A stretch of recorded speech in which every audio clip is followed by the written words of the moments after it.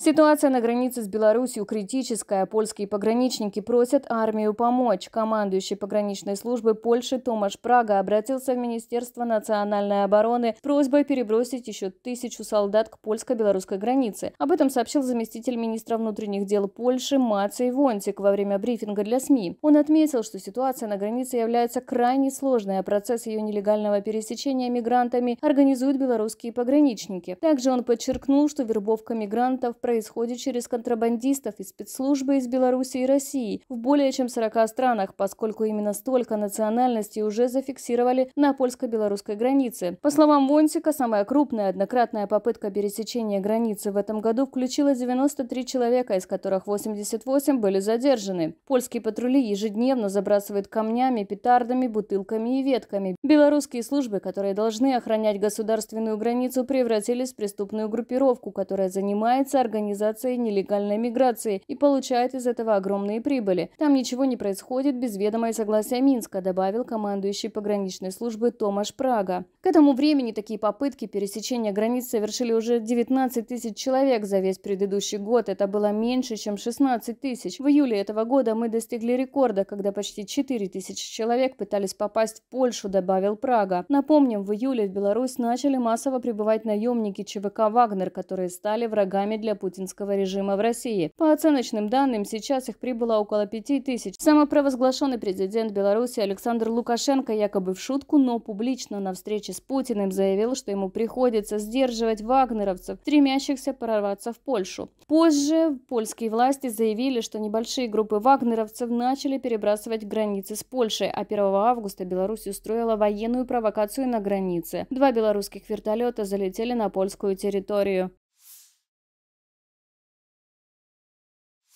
Украина не планирует переносить войну на территорию Российской Федерации. Об этом заявил президент Украины Владимир Зеленский, сообщает Униан, ссылаясь на аргентинское издание «Ла Насьон». Президент Украины в очередной раз напомнил, что российские оккупанты должны покинуть территорию Украины. Также Владимир Зеленский в интервью латиноамериканским СМИ прокомментировал контрнаступление украинских войск и заявил, операция идет медленнее, чем ему хотелось бы, но инициатива в руках Украины.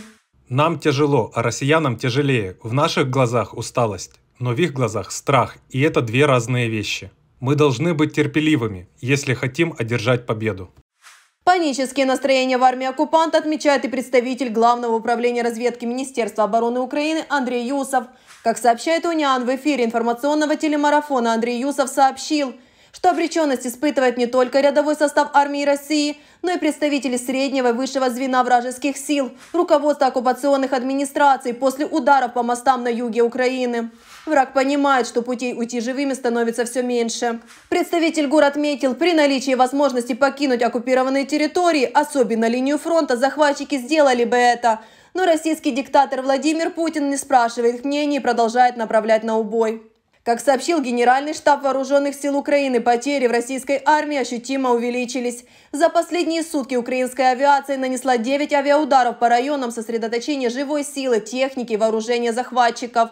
Кроме того, украинские артиллеристы и ракетчики поразили две вражеские радиолокационные станции и два командных поста оккупантов. Также в запорожском направлении ВСУ уничтожили вражеский вертолет К-52 «Аллигатор». На утро 8 августа в Украине ликвидировано свыше 250 человек личного состава. Только за последние сутки уничтожено около 600 человек. Взрывом в Турции, возможно, причастна Россия. Такое мнение высказал представитель Главного управления разведки Министерства обороны Украины Андрей Юса в эфире информационного телемарафона, сообщает Униан. Представитель ГУР отметил, необходимо проверить всю информацию. Также необходимо исследовать причастность путинской России к этим событиям. По мнению Юса, очень странно выглядит ситуация. Взрыв элеватора в Турции накануне возможного визита президента-диктатора Владимира Путина в это государство, где планируется обсуждение зерна зернового коридора. Юсов напомнил, что власти Турции активно выступают за продолжение зерновой инициативы. Напомним, 7 августа на территории порта Деринже раздался громкий взрыв. Местные СМИ сообщили, что его слышали во время разгрузки одного из судов. Власти заявили, что могла произойти детонация зерновой пыли. Губернатор провинции Каджаэли Сидар Явуз в комментарии телекомпании Хабертурк ТВ сообщил, что в результате взрыва было повреждено 13 элеваторов. В результате инцидента пострадали 10 человек. Дипломатический скандал, который на днях вспыхнул между Москвой и Пекином из-за грубости российских пограничников в отношении китайских граждан, не стоит воспринимать как начало охлаждения в отношениях двух стран. Об этом пишет американское издание Bloomberg. Авторы публикации отмечают, что инцидент хоть и получил определенный резонанс в Китае и заставил Пекин сделать жесткое заявление, но он вряд ли свидетельствует о более широком изменении политики Пекина. В то же время Си Цзиньпин не боится нанести удар России, особенно если ее действия могут угрожать его внутреннему положению или сделать сделать его слабым. Также у Китая есть несколько причин для раздражения на Путина. Одна из них – решение российского диктатора выйти из зерновой сделки, которая также повлияла на Китай. Но главным вопросом остается непредсказуемость долгосрочного характера конфликта. Война дестабилизирует мир, и это плохо с точки зрения Пекина. Кроме того, саммит Джиди показал усиление разногласий между Китаем и РФ относительно Украины, считают аналитики Американского института изучения войны. На встрече представители Китая стремились показать, что они не Россией были конструктивными. По мнению европейских дипломатов, это показало усиление изоляции РФ в мире. Более того, мирные переговоры в Джиде – это пощечина российскому диктатору Владимиру Путину, поскольку РФ на них не приглашали, заявил российский политолог Дмитрий Орешкин в эфире телеканала Freedom. По его словам, в Кремле сильно обиделись, но они не хотят демонстрировать эту обиду. Э, ну, конечно, это оплеуха. Потому что между нами говоря, война, война идет между Украиной и Россией. И обсуждается вопрос с миром без России. По мнению политолога, это означает, что РФ не только не способна к договоренностям, но и просто незначительно.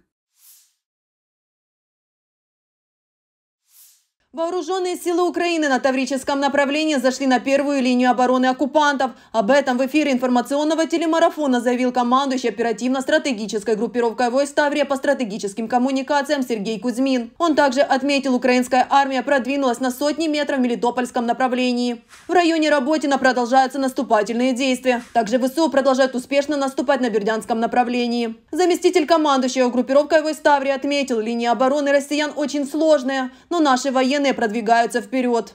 Очень плотное минирование, очень много минных полей, минных шлагбаумов. Почти вся местность заминирована. Сергей Кузьмин добавил, там также есть инженерные препятствия, доты, бетонные сооружения, противотанковые рвы. Он отметил, захватчиков на Таврическом направлении очень много. На квадратный метр их не меньше, чем мин а подготовленных оккупантов становится больше. Идет привлечение резервов уже второй линии, в частности, стало больше подразделений морской пехоты, десантных подразделений, работают отдельные группы спецназовцев. Бригадный генерал, командующий оперативно-стратегической группировкой войск Ставри Александр Тарнавский в своем телеграм-канале написал «На Таврическом направлении есть успехи». За последние сутки артиллерийские подразделения сил обороны выполнили более полторы тысячи огневых задач – было уничтожено 18 единиц военной техники оккупантов, среди них вертолет К-52 «Аллигатор» и радиолокационная станция «Ястреб-АВ». Также были уничтожены 8 складов боеприпасов врага. За последние сутки на Таврическом направлении погибли 94 оккупанта, ранено 162. Во временно оккупированном Крыму снова раздаются взрывы. Местные телеграм-каналы сообщают, что в частности был слышен громкий взрыв в Джанкое. Также сообщают о прилетах в Октябрьском. Оккупационный советник главы Крыма Олег Крючков отчитался о том, что звуки взрывов в Октябрьском – это утилизация боеприпасов. Аналогичная ситуация, по словам Гауляйтера, в селе Вольное Джанкойского района. В то же время над центром Керчи заметили военный вертолет. А вечером 7 августа движение по Крымскому мосту перекрыли более чем на час из-за информации о надводном беспилотнике. Сотрудники спецслужб перекрыли мост и проверили информацию, но она не подтвердилась. В последнее время в Крыму часто происходят взрывы на военных объектах и мостах. К примеру, 6 августа оккупанты заявили о повреждении Чангарского и Генического автомобильных мостов вследствие ракетных ударов. Вскоре информацию о нанесении ударов подтвердили в ВСУ.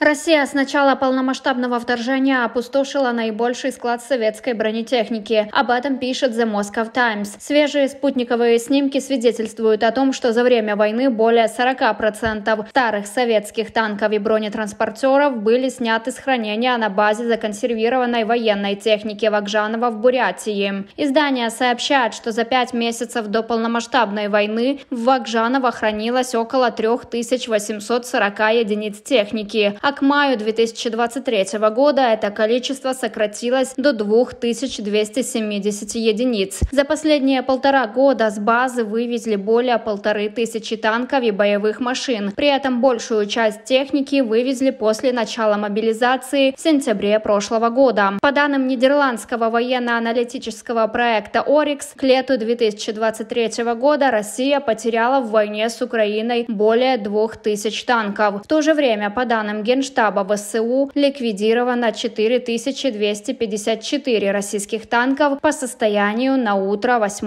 августа. Экс-глава МИД Австрии Карин Кнайсель переехала жить в Рязанскую область. Как сообщает российское издание «Вид сбоку», бывшая чиновница сняла дом в деревне Петрушева. Отмечается, что она уехала из Австрии из-за угрозы обвинений в связях с Россией. Однако эти обвинения не безосновательны. В 2018 году бывший министр отличилась тем, что танцевала на своей свадьбе с президентом России Владимиром Путиным. А в 2020 году Кнайсель стала членом Совета директоров Роснефти и занимала этот пост до мая 2022 года. Издание сообщает, что экс-чиновница не уверена насчет своего дальнейшего будущего в России. Она отметила, что ей было непросто приехать в Рязанскую область, но она старается найти свой путь, хотя это нелегко. Карин Кнайсель возглавляла МИД Австрии с 2017 по 2019 год.